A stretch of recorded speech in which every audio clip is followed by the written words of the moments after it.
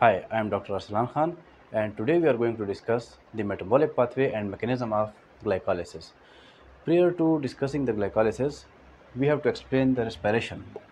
It is the series of complex oxidation reduction reactions in which energy is released by the oxidation of organic molecules.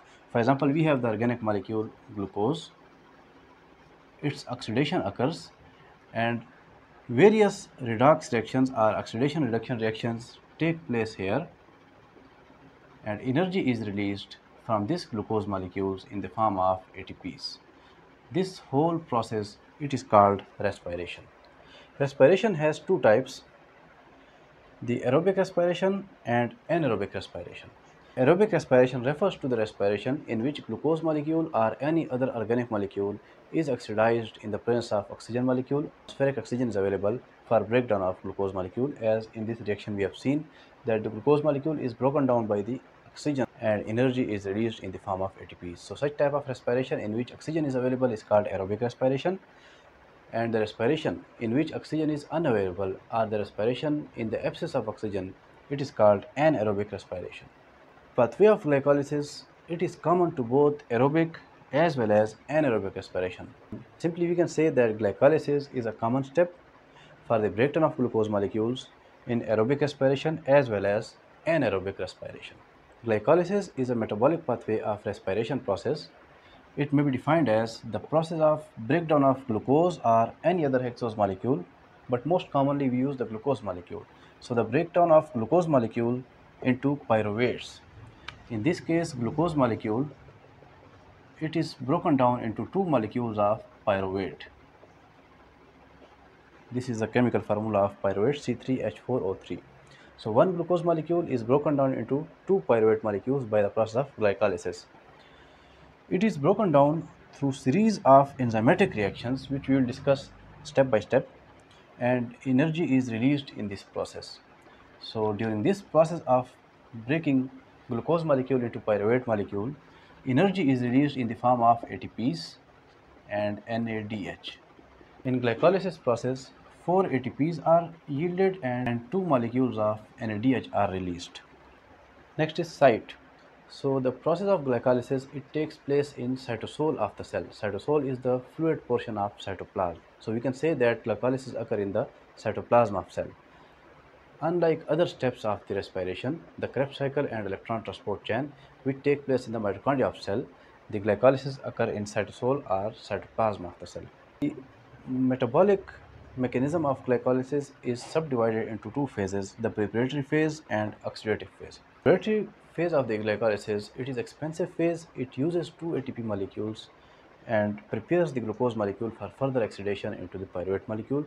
So it uses ATP molecules. While the oxidative phase, it is a rewarding phase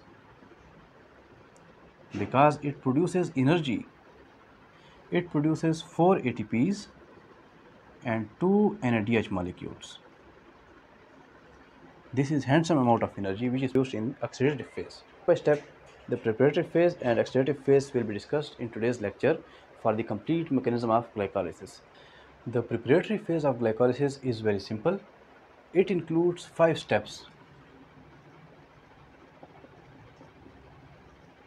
It starts with the glucose molecule, primary organic molecule which is the source of energy in the human or animal's bodies. At the very outset, ATP molecule present in the cell donates a phosphate to this glucose molecule leaving behind the ADP molecule. So this phosphate it enters the glucose molecule and attach itself to the carbon number 6 of glucose molecule. So this is called glucose 6 phosphate. The process in which ATP molecule it gives phosphorus to the glucose molecule to yield glucose 6 phosphate it is called phosphorylation. So this is the first step phosphorylation in which phosphate group is attached to the glucose molecule. This is called phosphorylation. In next step, the glucose 6-phosphate molecule, it just isomerizes and the glucose molecule is converted into fructose molecule.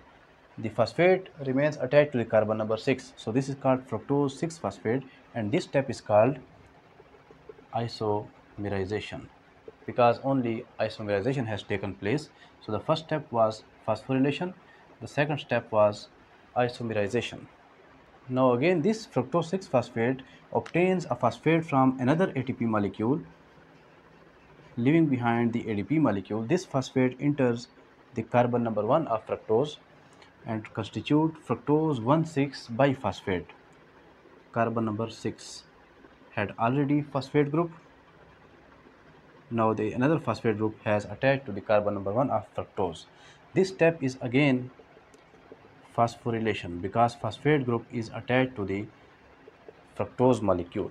So this is the third step in which phosphate has attached to the fructose molecule, the phosphorylation. In the fourth step,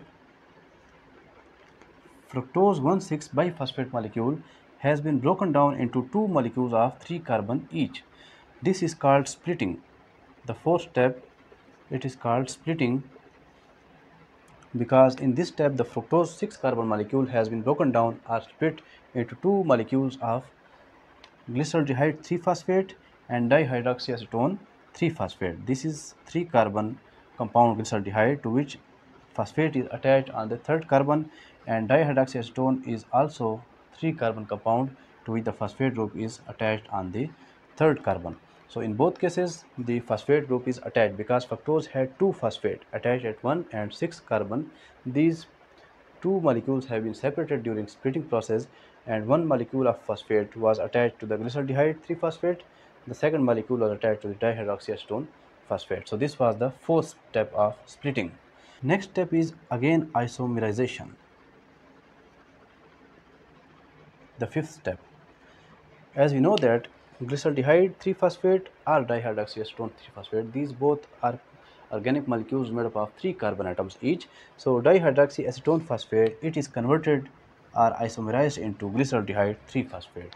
So at the end of preparatory phase we have utilized two ATP molecules. The first ATP was utilized with glucose molecule. The second ATP molecule reacted with the fructose molecule. So the expenditure of two ATP molecules.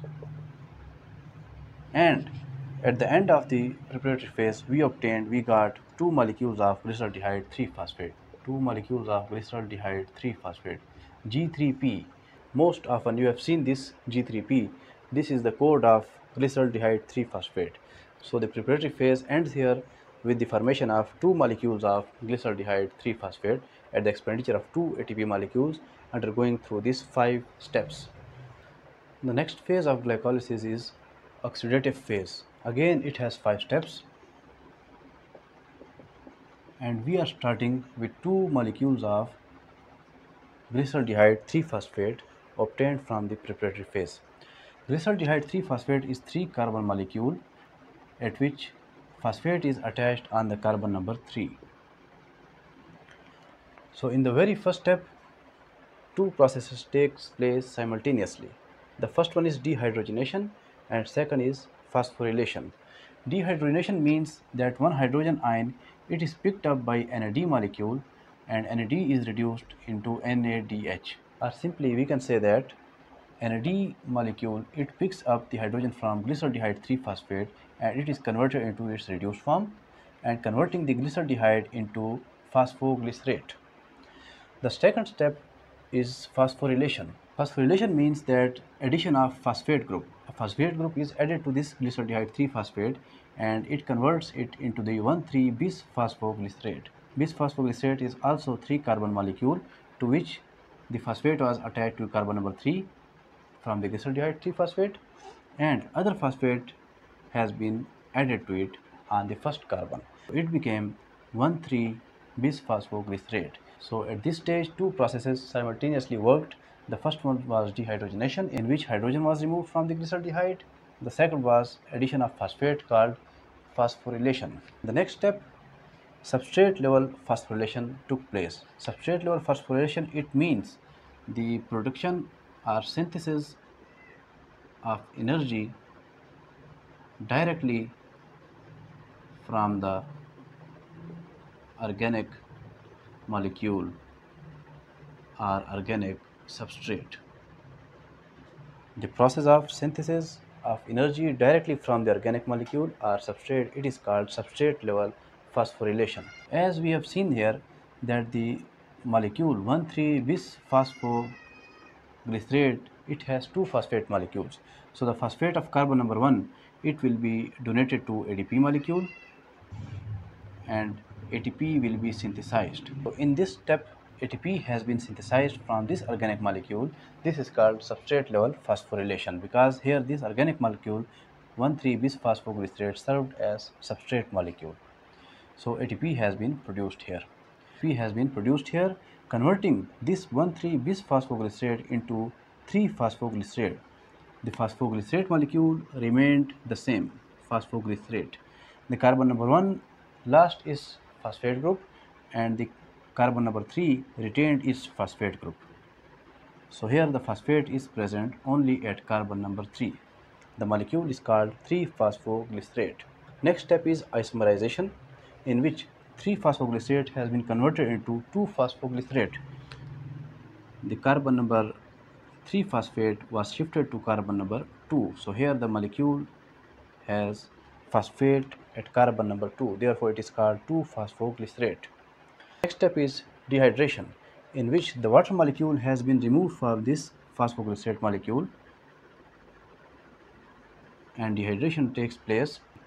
The loss of water molecule from the phosphoglycerate converts it into the phosphoenol pyruvate. Finally, substrate level phosphorylation, the phosphoenol pyruvate, it is converted into pyruvate molecule by losing this phosphate. This phosphate is donated to ADP molecule which produces ATP. So again ATP has been produced from this organic molecule. This is called substrate level phosphorylation. So in this oxidative phosphorylation, we have seen that two ATP molecules have been produced and one NADH has been produced. But we know that before entering the oxidative phase, we had two molecules of glyceraldehyde 3-phosphate obtained from the preparatory phase. So we will multiply these energies into 2. So the whole reaction will be multiplied into 2 because we had two glyceraldehyde 3-phosphate molecules at the start. So the total energy is produced will be ATPs multiplied by 2 and 1 NADH multiplied by 2. So 2 and 2 4 ATPs and 2 NADH molecules these were synthesized during the oxidative phase of glycolysis. So simply if we review that oxidative phase we had two molecules of glyceraldehyde 3-phosphate. The Both of the glyceraldehyde 3-phosphate molecules undergo same mechanism to be converted into pyruvate molecule.